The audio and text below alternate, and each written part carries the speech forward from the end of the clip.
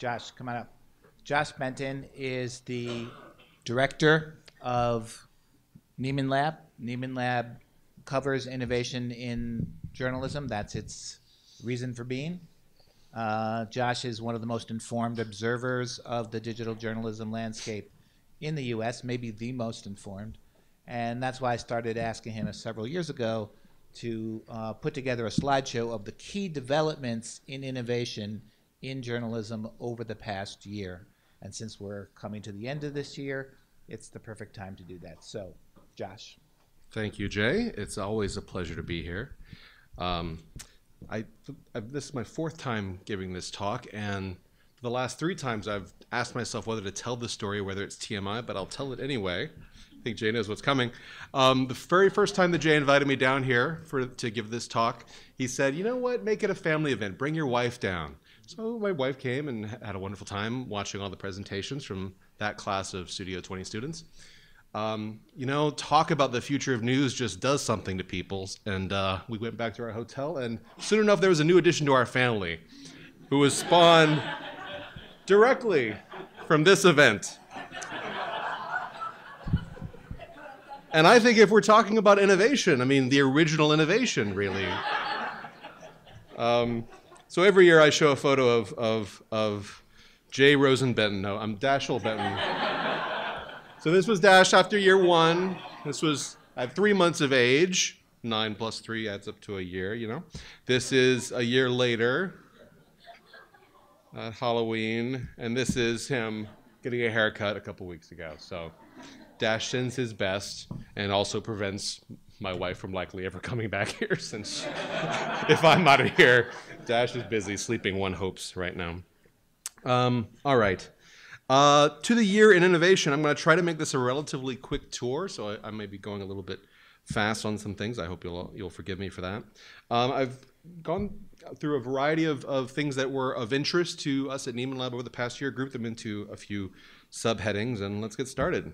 So, number one, our gentle Northern California overlords, the very small number of technology companies located between San Jose and San Francisco who increasingly control everything about the, the sharing of information.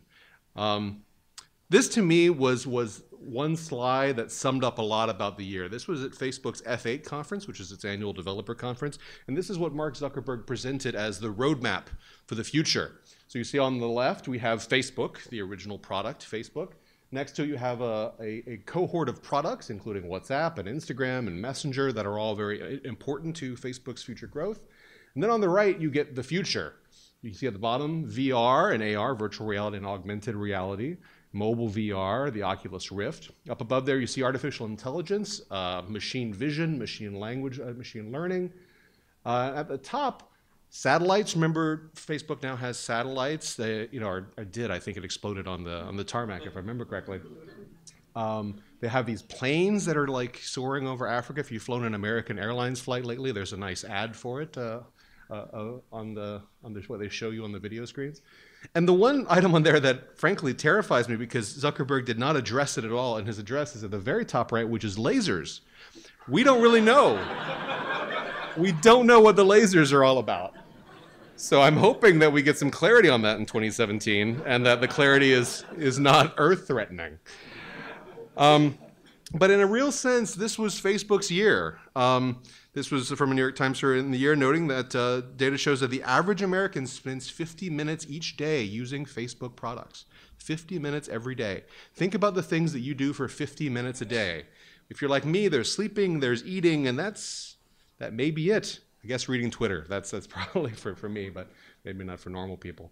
Um, you know, we, we, Facebook has reached the scale where prime ministers of Scandinavian countries have to get involved when they decide to take down historically significant photographs, such as this photo from, from Vietnam, when a Norwegian newspaper, Aftenposten, decided to post it on Facebook and it was taken down as child pornography. You know, the prime minister is getting involved because it is such an, an amazing you know, an, an, amazing amplifier of information or an amazing choke point for information, depending on how, to, how you want to look at it. This chart in some ways sums up 2016 for me. This is data from early in the year, but this is uh, for sites that use Parse.ly, which is a common analytics platform used by a lot of news organizations. Where do they get their external traffic from? you'll see there are basically two answers to that question Facebook and Google. They've essentially formed a duopoly that uh, controls an enormous share American attention and, and global attention.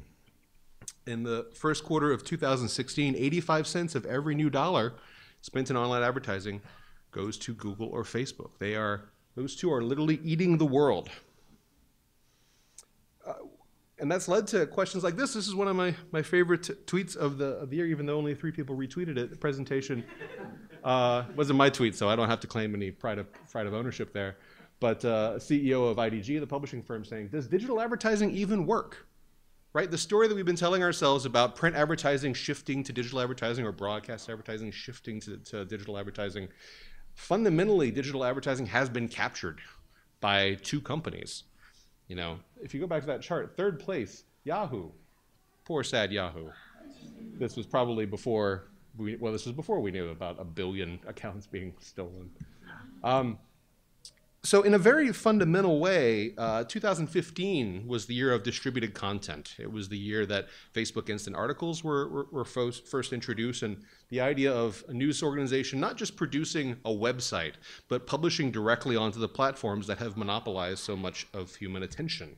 Uh, this year, we saw the final launch of AMP, Google Accelerated Mobile Pages project which uh, if you've ever noticed, uh, and you click, go search for something on your phone, and then you see an unusual carousel, and you tap on it, then it loads, and it looks kind of like a vaguely stripped down, vaguely broken web page, but it loads very quickly. That's Google AMP. Um, this chart to me is, uh, is a sign of the difference between 2015 and 2016. These are, this is data from The Verge, which is a Vox Media site that covers technology. Among other things, they'll tell you it's much more about culture and cars and things, but it's a technology site. Um, the, the things you tell advertisers. Um, you'll see the, these are these are all the ways that people see Verge content across various platforms. In 2015, you see the dominant source is website page views, this old-fashioned thing where you go to a website and you read an article. In 2016, you see that actually website page views have shrunk. It is a smaller number, which is not something that they would want to tell our investors. But you can see that it, the reason why it has shrunk in part is because there are so many other places that people are seeing Verge content.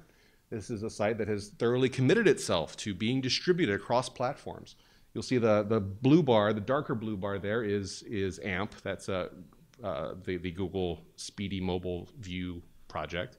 But you'll also see Flipboard flips, Apple News views, YouTube video views, Facebook video views. They have their own special Facebook only brand called our Facebook focus brand called Circuit Breaker. Instagram views on video, Twitter video views. Tiny amount of podcast listens and news, newsletter opens. That makes me a little sad. But you can see how, in terms of what The Verge controls or owns, it's a relatively small part of the overall pie. And one thing that happened this year was a real shift of video in particular out to the platforms. The Verge redesigned on its fifth anniversary last month, and you'll see they have a you know section headings: tech, science, culture, cars, reviews, long form, and then video. You might think, and it was the case before, and it's still the case on just about every other news site, that the video page will go to something like theverge.com slash video, and it'll show you videos in their own native player, because they can sell ads at a higher rate on their own native player on their own site. But actually, that's just a link to their YouTube channel. Essentially, they've realized video is, be, is not being viewed on our website. It's being viewed on YouTube and it's being viewed on Facebook, and we might as well roll with it. Again, Google and Facebook own everything. Um, when you think about Google and Facebook and you think who's going to be the challenger to come up and be the, the next generation competitor, um, who's going to be the, I was going to make a boxing metaphor, but I don't remember who actually followed Ali. I don't think Spinks really counts. Um, Snapchat is probably the, the strongest possibility. Snapchat Discover is another major distributed platform that's been around a little bit over a year, but they showed this year by slight tweaks in the way that uh, Snapchat Discover appears, that sto stories from news organizations appear, that they can have massive influences on the amount of traffic that go to individual news sites. So not only are they convincing these news sites, you need to create special custom content just for our users, but they still reserve the right to just change it however they want. That can send views plummeting or, or soaring whenever they want. One final development in the sort of technology-centered section of this is that this was really the year that stories became a format. You know, Snapchat stories were a remarkable innovation, had a huge amount of uh, influence among the mostly younger user base that Snapchat has, but it, the idea of, of the story, of course, was stolen by Instagram with Instagram stories this year. And you're seeing the DNA of it spread throughout the ecosystem. The outline, uh, Joshua Topolsky's uh, very interesting site, which just launched a few days ago, certainly takes some design DNA from this story's format. So it seems to be another way that we've, uh, we've decided is going to be a persistent format for news online. All right, video. Video is still a huge deal. It's a bigger and bigger deal, and news still doesn't really know how to deal with it. Um, another thing that sort of became a format this year, as we heard from our previous presentation, was that Live became a format. I mean, of course, we know about Facebook Live, which launched in April, but Instagram Live is on the way, available on some of your phones right now, perhaps, if you're in, the, uh, in a certain part of the rollout. You'll be able to go live from Instagram. Twitter just integrated uh, Periscope Live broadcasting directly into the Twitter app uh, this a uh, couple days ago. There's a weird sense in which social, social platforms which have tried to differentiate themselves are sort of becoming shapeless vessels for everything to just sort of be copied and shoved in, the same way that every tech company has to have a $10 a month music platform, not because they really want to, but because it's sort of table stakes. I think live is, is sort of becoming that. Um, who watched this live? Does anyone? Okay, right. This is my crowd. I get it. Um, uh, so this was uh, a remarkable moment in, in uh, televised video history. On a Friday afternoon when not much was going on, BuzzFeed decided, hey, we have this watermelon. Hey, we have a bunch of rubber bands. Let's put the rubber bands around the watermelon one by one, broadcast it live to an audience of people who are bored at work and should be doing their, their, their proper to do list, and see what happens and it was a 45 minute long video. Uh, it was viewed by, at, at its peak by more people than anyone than any television show airing in America at that time. 11 million people watched this. so if you want to, I would say, you know, you could tell you it's around rubber band 800 where it happens, but you could just see it's a 45 minute long video. Go to about 4430. You're, you're, you're probably going to get it. Facebook, of course, was very is very interested in Facebook Live as a platform, so they are paying outlets like BuzzFeed and like the New York Times to do a lot of Facebook Live video. This is a, a Times video I thought was a kind of remarkable moment. The, the Times, I would argue, uh, in the early days, were, were intentionally trying to be kind of rough and try new things with Facebook Live. Uh, some of them didn't work very well. This was a, a reporter uh, at a, at a pitch meeting talking about a story he was working on. If you go and watch this video, he's saying things like, well, we don't have this confirmed yet, but we think X, Y, and Z. It was not maybe the, a well thought out plan. but I will say the New York Times has really upped its Facebook Live game and does a lot of really, really good work now. Um, this was one of the more remarkable ones. Does anyone know what ASMR is? Right? What does it stand for? I actually don't remember what it stands. Auto sensory, or thank you. Um, it's this thing that's vaguely a medical phenomenon, vaguely a sexual fetish, in which people really respond to women whispering over YouTube videos. Um, Google it; you'll be fine. Um, BuzzFeed decided to do, I, I, wish I had time to broadcast it, but just Google this and see BuzzFeed actually would do a daily newscast for a time that was just a woman whispering very slowly and quietly about how wonderful it is that Mexico is considering a change in its trade policy. Um, so in a, in a, very real sense, Facebook Live has been a, a, a palette for, for, for uh, experimentation on a, on a form we haven't really seen before. Um, so with video, television uh, time is shrinking uh, for, for young people in particular. This is 18 to 24 year olds. Uh, you can see that in the span of about six years, you're going from around 250 minutes of television watching per day to around 150 minutes. That's a pretty substantial change. Um, and uh, you may have had some have some sort of memory in the back of your brain about of this this uh, appearance by a Facebook executive at a conference in which she says that Facebook will be all, the, the news feed will be all video in five years. Basically, text is on the way out. All you people who know how to hold a pen are just wasting your time. You're basically the new Amish. And, and it's all video from here.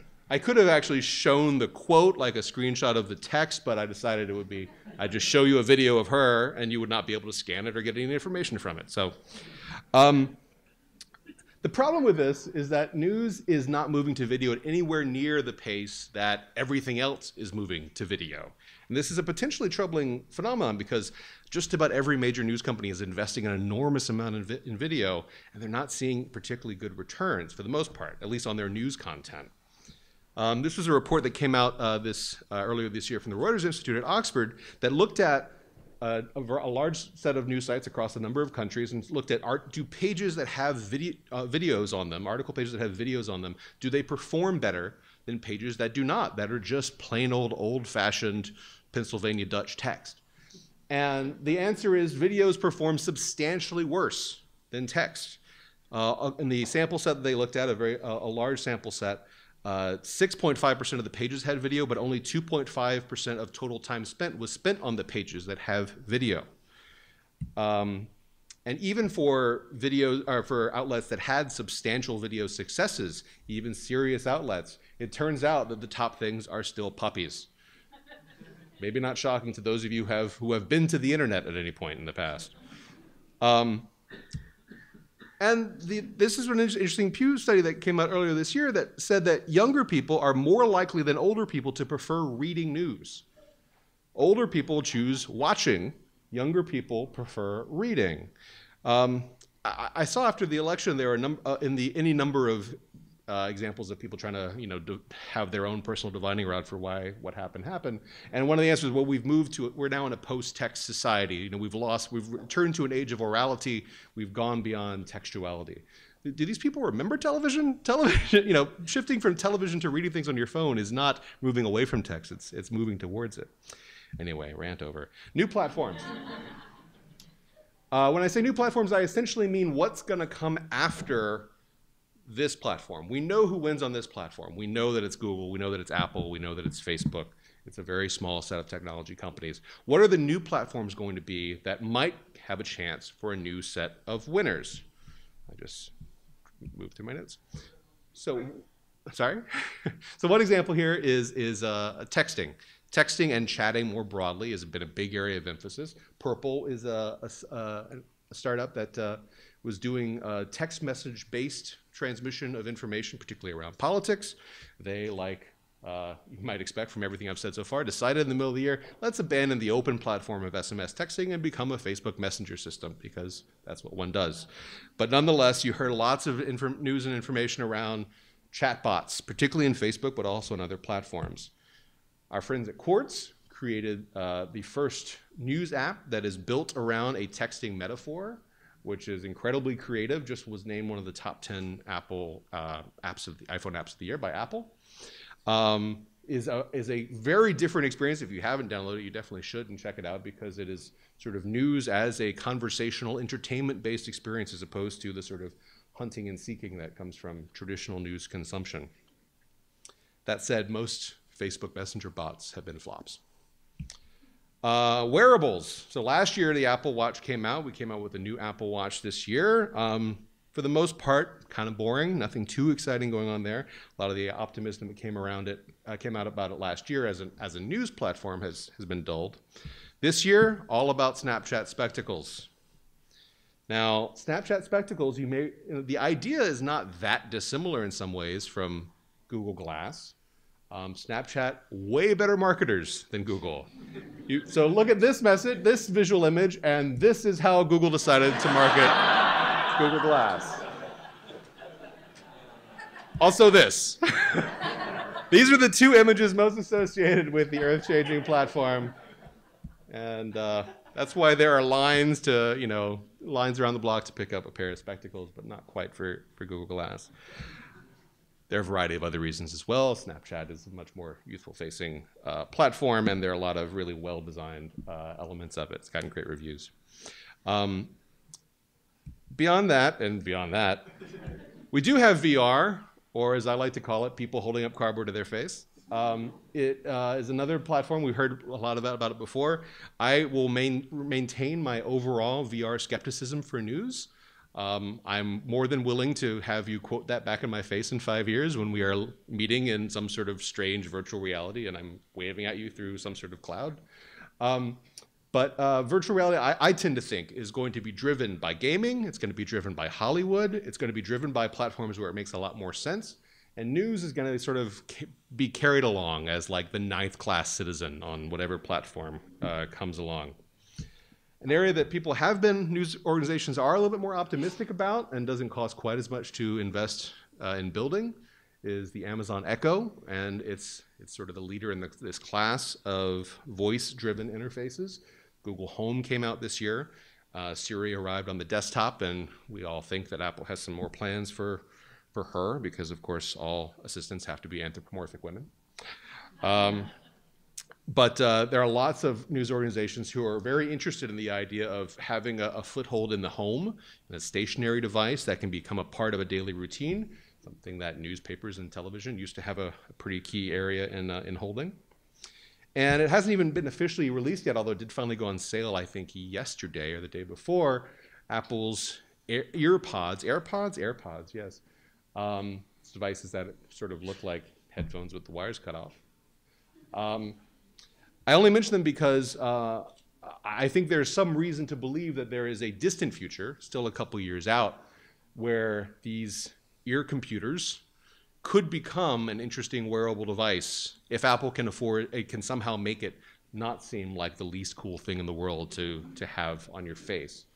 Um, we'll see how they how they survive that struggle. But the idea of an assistant that knows your location, is connected to all the intelligence on your phone, can whisper things to you, as opposed to Amazon Echo, which involves yelling at a at a at a cylinder that you know, lives in your kitchen.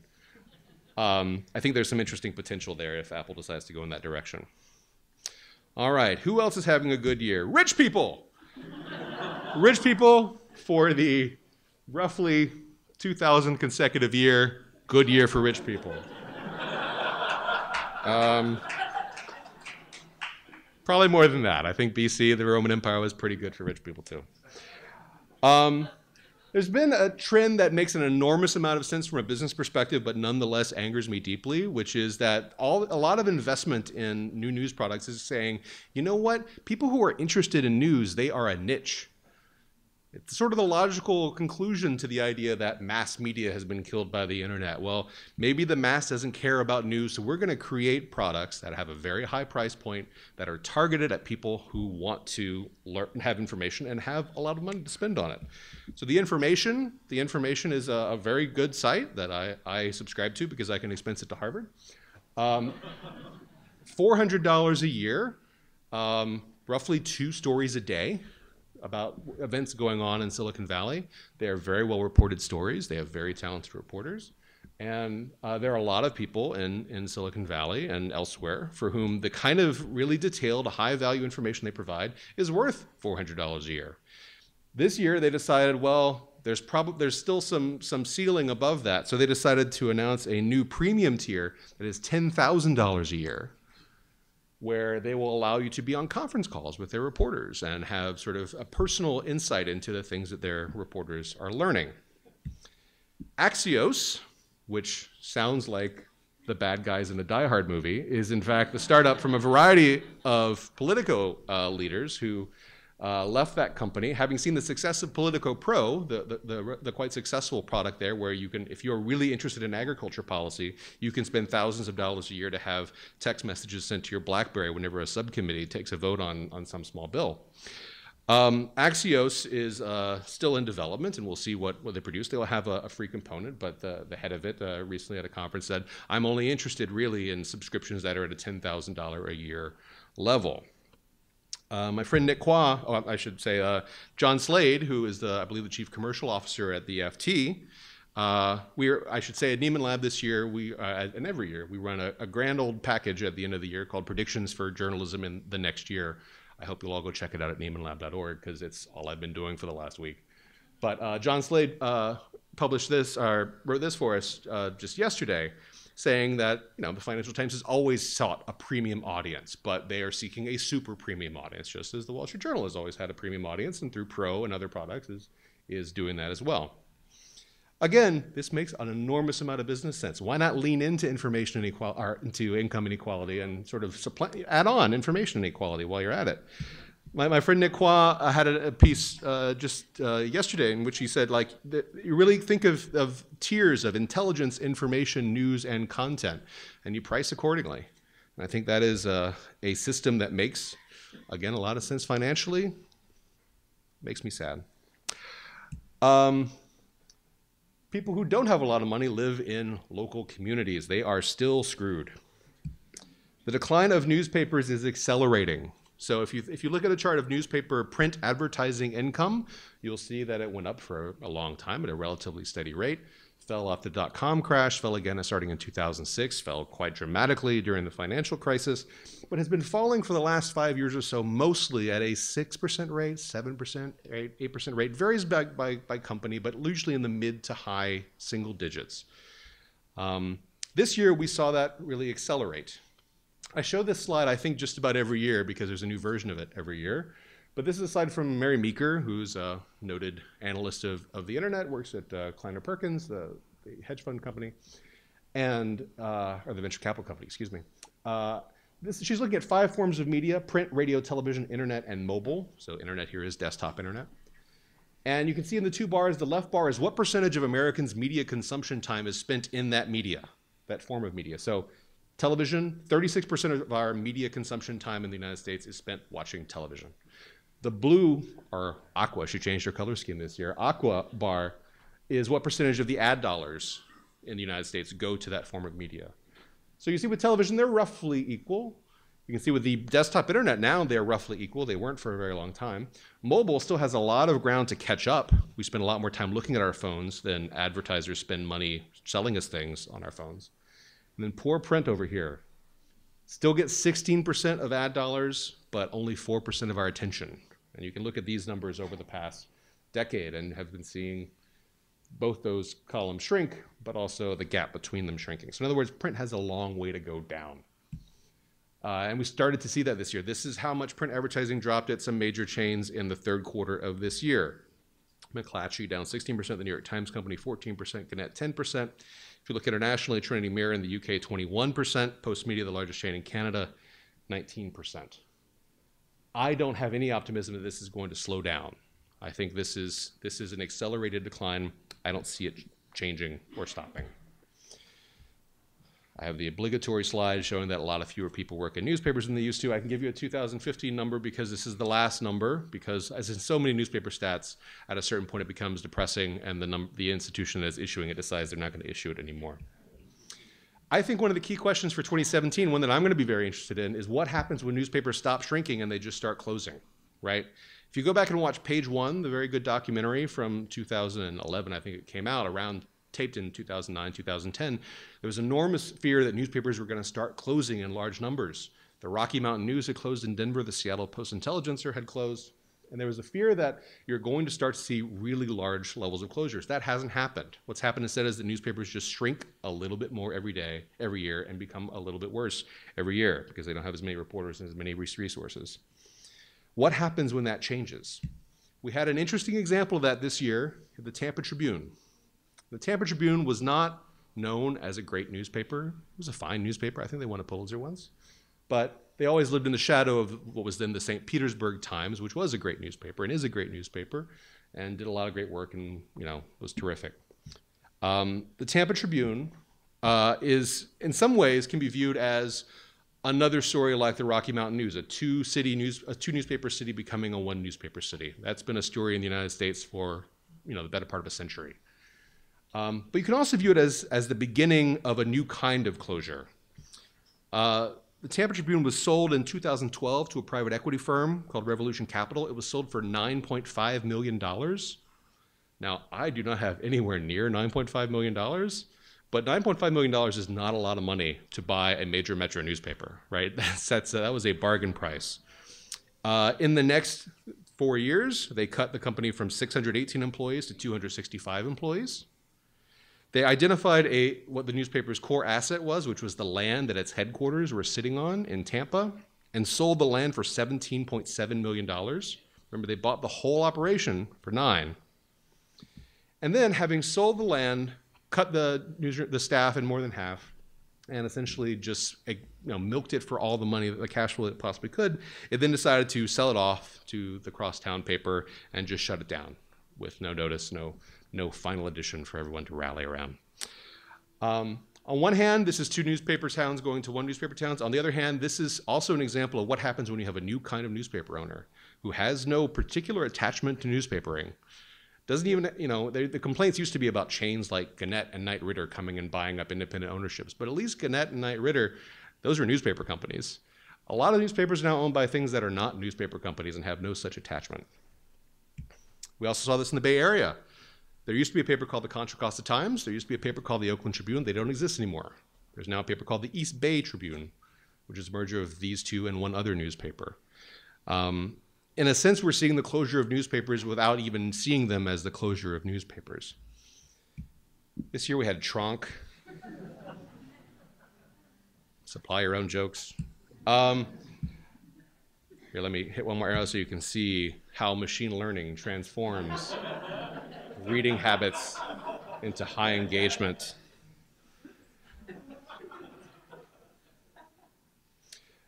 But what the, the Tronc episode was was unfortunate on a, a large number of levels because Tronc owns some great newspapers, the Los Angeles Times, the Chicago Tribune, others. Um, and the, the real unfortunate thing is that there are only a few companies left that have any interest in buying up the newspapers that might want to sell. Gannett is one of them. And when I said before about not, we might not even be sure when newspapers start to go away, I think about my home state of Louisiana, where Gannett owns five newspapers in Shreveport, Monroe, Alexandria, Opelousas, and Lafayette. I grew up reading the Lafayette Daily Advertiser. That was what I read every day. Um, just an idea of what's happened to those. Those five newspapers, I tracked it once. It would take eight hours to drive between them all. They have one publisher that they share between them. The copy desk and the design and the layout of the paper all happens in Tennessee. That's all been moved away. Um, they don't have any national news because they, of course, they're owned by Gannett. So the USA Today provides a national news section, which is inserted, which is consistent for every Gannett newspaper. Um, I remember the Advertiser as a paper that had a, a, fairly substantial staff back when newspapers just made money the minute they rolled out of bed. Um, now it has 11 reporters covering a metro area of 600,000 people, three of those sports, um, in a real sense, the, papers have sort of these papers have sort of become nameplates that have largely undifferentiated content uh, sort of underneath them. This is already happening. You have something like you know the New York Times, which is uh, deciding to expand internationally, makes perfect sense for them, but at the same time cutting their their staff covering the arts in New York and surrounding areas. Um, again, a very reasonable business decision, but one that nonetheless um, is a little bit sad. The, uh, the broader trend here is that there was a hope some years ago that the move to digital might help distribute journalistic resources more broadly, right? I mean, magazines have always been just centered in, in New York City, but newspapers have been evenly distributed around the country. Every city had one. There were great newsrooms in every, just about every city of any sort of size around the country. Um, what's happened with digital is that's all been concentrated into New York and to a lesser extent DC and LA and San Francisco. I did analysis looking at uh, at job listings at journalismjobs.com. 10% of the television and newspaper job listings nationwide were in New York or DC, but over 40% of the digital job listings were in New York or DC. You may remember we just went through an election. Um, questions about sort of the coast not paying attention to the center of the country that may have played some sort of a factor. Aside from the fact that New York and DC are very expensive places to live, and that means that certain kinds of people can have those jobs and other kinds of people cannot. We had there are very few of these technology companies that have an explicit interest in local journalism. Snapchat was one, but they cut their local stories product this year. Are there any signs of hope? Eh. Um, I can, I've shown this slide before because I continue to have some hope uh, in WCPO in Cincinnati, not WKRP in Cincinnati. Um, WCPO is a, a Scripps-owned uh, television station that has decided, why don't we become the dominant digital newsroom in town? Uh, a typical television uh, newsroom in, its, in a market its size would have about six or seven digital staff. They have 35. They have reporters who cover City Hall. They have a paywall You pay ten dollars a month, and you get access to some some of the some good in depth reporting on City Hall. They, they're basically betting, wait, we have a business model. It's called television. Why don't we use that as our movement into uh, maintaining some sort of strength in digital journalism? It's unclear how well it's working out. They've been doing it for a couple years now, and Scripps has not duplicated into other markets, so that maybe tells you something. But nonetheless, they uh, launched a little newspaper war this earlier this year, which was very amusing to observe. You also do have some digital upstarts. These are three that, aside from sharing a color scheme, which I think means they all work for Soros or something, I'm not sure, are three that do interesting work. Uh, Billy Penn, which in Philadelphia, owned by Spirited Media, which also owns the Incline in Pittsburgh. The New Tropic in Miami, um, which recently expanded to a Seattle site called the Evergrey. And Charlotte Agenda in Charlotte, North Carolina, which uh, recently expanded to Raleigh, and then a week ago decided not to expand to Raleigh anymore because it wasn't working out. Uh, if you go look at these sites, you will find that they share a number of characteristics. They are heavily events driven. They are not trying to aim for, for page view scale. They have really good newsletter products. They consider that a very core part of what they do. Uh, Charlotte Agenda, one of, one of their most important platforms is Instagram because they found there was no interesting, newsy Instagram in Charlotte that gave you a sort of sense of the city. Um, they will have a certain share of what 10 best burritos in Charlotte kinds of stories, but they also do some a little bit of more interesting work. Um, so these are folks that I'm watching uh, going forward and wishing the best. All right, I'm going a little bit long, so I will speed up. Uh, podcasting's boom continues. I love podcasts. You guys love podcasts? They're great. Um, podcast did really well this year. A few specific things. You did. You have seen an interesting movement in the direction of short form podcasts. This is an app called 60dB, started by Steve Henn, formerly of Public Radio. Uh, they had just announced today that 70% of the engagement on the app is with stories that are less than 10 minutes long. Podcasts often are, a short podcast is 30 minutes, right? Or an hour or 90 minutes. They, they tend to stretch out. There's something about creating a radio like experience that I think is an area that podcasting is, is might be moving towards. I think we're going to see a very significant player announcing soon a daily news podcast that I'm very interested in. Um, this I just thought was an interesting tweet. In a, in a very real sense, uh, when we create new platforms, we're also taking along the biases and problems of other platforms. True crime podcasts, huge success. Uh, just like women, like young white women who've been murdered, or has been a, a news success for other platforms before it. Um, cable television news, to to name one, and and we do have this really interesting move towards walled gardens. The it's not just the open platform of RSS feeds and podcasts going through iTunes or through a direct podcast player. You're seeing companies like Acast and 60dB and NPR One all working creating their own closed information ecosystems, which have a variety of problems, but also provide you with amazing data that allow people to recommend re- podcasts and podcast episodes to people.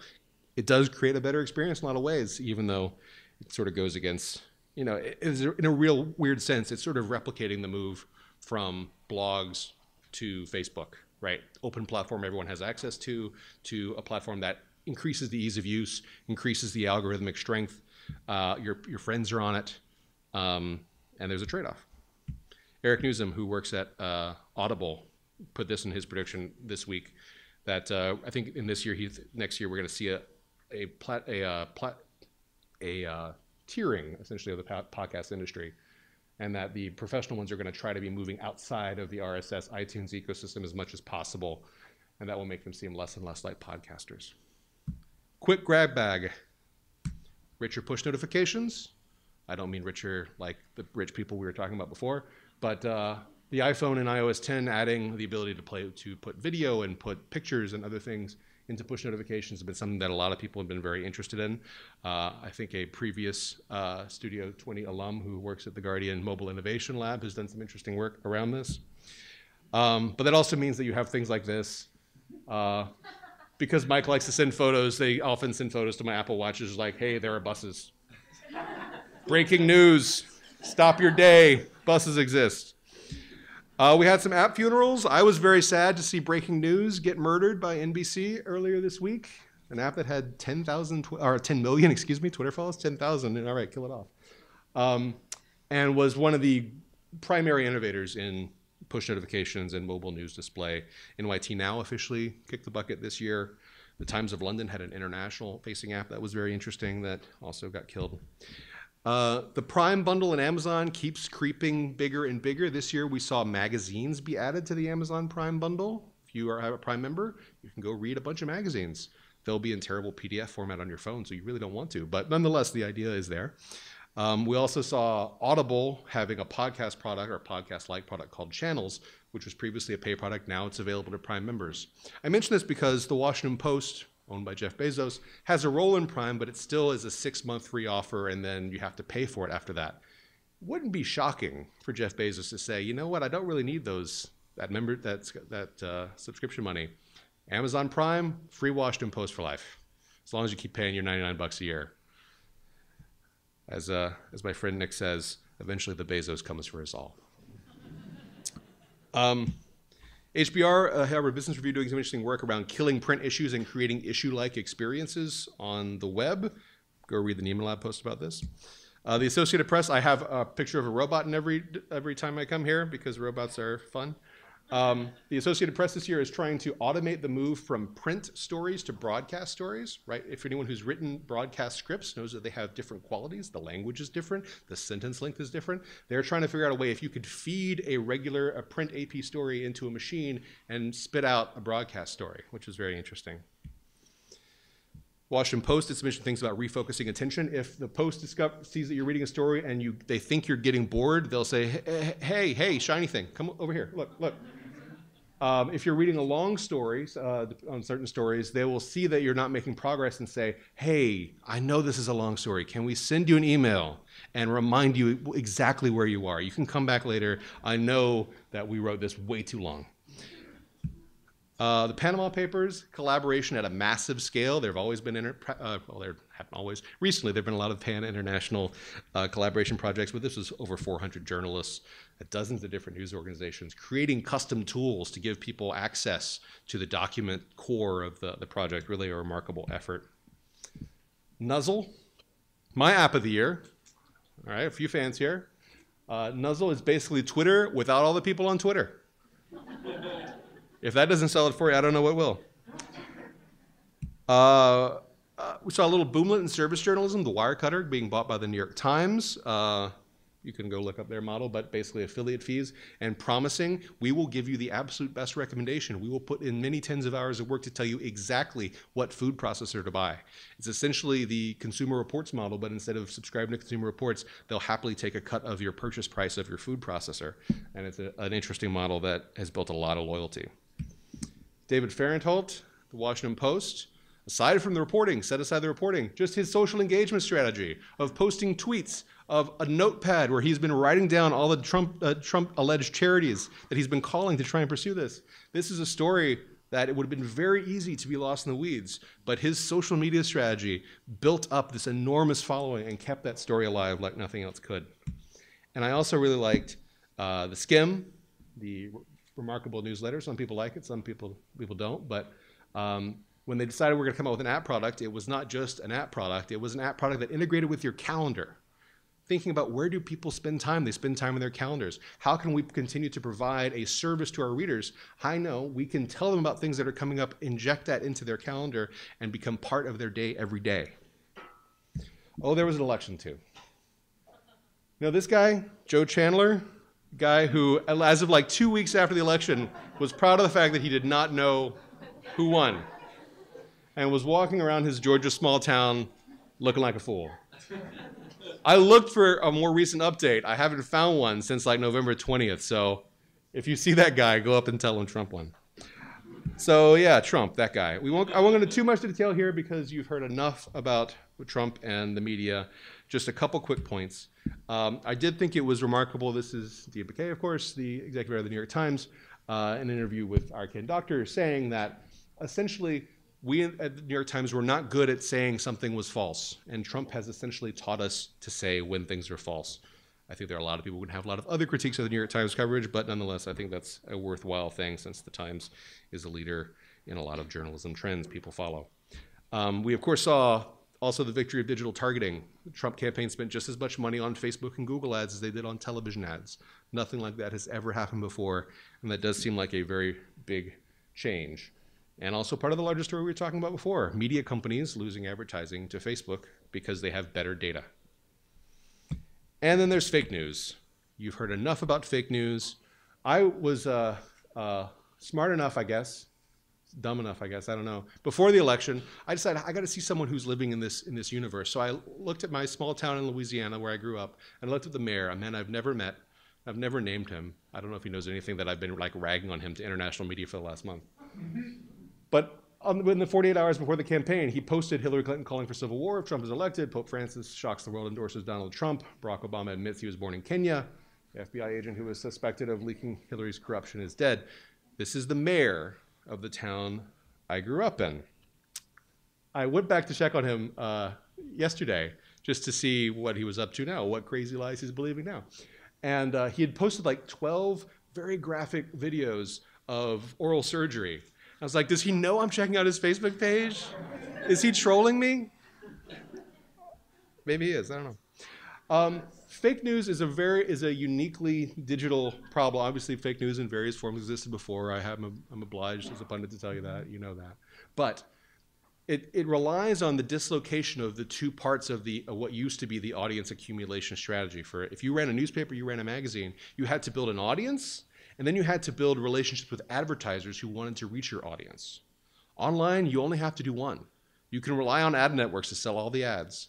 These Macedonian teenagers who were busy making up these lies to try and make money off of, off of advertising, they weren't going to Procter & Gamble and say, we have a great place for you to advertise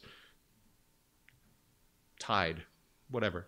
They instead were relying on Google and ad networks to, to do that for them. And that, that fracturing of that relationship is, I think, important.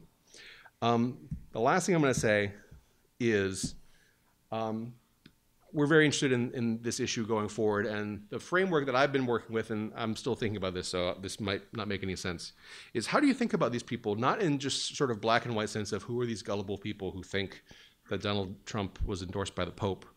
Instead, think about them as the unnewsed. And I mean that in the sense of, are you familiar with the term the unbanked? Right? So the unbanked is a term that can mean a variety of things, but basically means people who do not use or access traditional banking services. They don't have a checking account. They don't have a savings account, right? And there are lots of those people. 17 million people, in, in, adults in the United States, are unbanked. And they rely on places like check cashing centers, right? And prepaid debit cards and things like that. And I think that there is a sense in which the reality of the unbanked is similar to the reality of the unnewsed. So I, there's a lot of been interesting research around it. What's, why do people say they are unbanked? They, a lot of them say they, didn't, they don't feel they have enough money to require a bank service, which means they never develop a credit record, which means that they have trouble getting more money. According to a Pew study, one third of the households that left banks did so because they had unexpected or unexplained fees. Uh, check cashing centers are transparent about all their fees. They state them right up front. It's not a confusing environment. Um, only 39% of, of checking accounts were free in 2011, down from 76% just two years earlier. The banking industry was finding ways to add more fees, make the experience more costly. Uh, over, overdraft fees alone now are larger than the entire check cashing industry, just the overdraft fees, right? Say people said they had a lack of knowledge about how the banking system worked. Age is a factor. Younger people are half of young people don't have have traditional banking. It's sometimes the default option for unemployed people because state unemployment benefits come on prepaid debit cards in a lot of states. Um, about 6% of the unbanked actually quit their existing banks because they had a bad customer service experience. They say that check cashing centers are more service oriented, they have more personal relationships with the staff. I just say all this because I think there are a lot of connections there to why people don't want to read the news organizations that you guys work for, right? They don't feel that the news has an impact on them. They find the experience of, consume, of consuming news confusing, sometimes because we write in confusing ways, sometimes because reality is confusing, sometimes we provide a really bad user experience. Young people don't have an investment in creating these habits. They rely on their default option, which for a lot of people is just Facebook and the algorithmic power there within. And the argument for consuming news is not clear to people. If you look at, uh, you know, I, I always come back to Anthony Downs, the economist, who said there are four types of information needs. And I won't list them all because I'm already over time. But uh, the key point is if you want to read reviews on whether to buy a car or not, you consume information and there's a return on your investment. If you're a, a banker and you read the Wall Street Journal, you're going to be smarter, there's going to be a return on your investment. Voting information, there is no return on your investment chance that you are going to be the one person who decides a national election is almost zero. Even in the close, this very close election, it was still 70,000 people. So people don't have the incentive to consume news unless you explain it to them. And I think that in a lot of cases, people like these guys, fake news providers, are often doing a better job of explaining why you should consume news than the New York Times or the Wall Street Journal or your local daily. When these guys were profiled as being fake news people in the Post, they, uh, they decided to write a fake news story back at the Washington Post and distribute it to their millions of Facebook followers about how the Washington Post was fake news. And just a few lines from it. You know it's a sad day in America when small newspapers are being brutally and unnecessarily attacked by bigger papers just because people don't trust them anymore. So they delineated a clear enemy. It's completely black and white. They're appealing to underdogs uh, in the face of elites. Our readers know firsthand that we do not peddle conspiracy theories. We present facts to an audience who the Washington Post apparently thinks is too dumb to think for themselves. They're again reinforcing the intelligence of the reader. Uh, they say, You know us. You know us. You know what we do. We have a connection with us. And in the end, after saying what I, I care about stopping this, these insane attacks, if you agree, help share this story out so we can expose their lies. They are providing a clear call to action that is designed for the context in which that information is being consumed. They have built a news product, news in several layers of scare quotes, that is effective in a lot of ways that real news is not effective. My takeaway from this year is that the range of potential outcomes is much wider than you think. I, for one, I can't speak for all of you, maybe you were all seers. I sure as hell did not think Donald Trump was going to be our president. Uh, I thought that was outside the realm of possibility. So the thing I'm taking in 2017 is that whatever you think the range of potential outcomes is, add a few layers outside of it, because that sort of thing can happen. All right, that's it.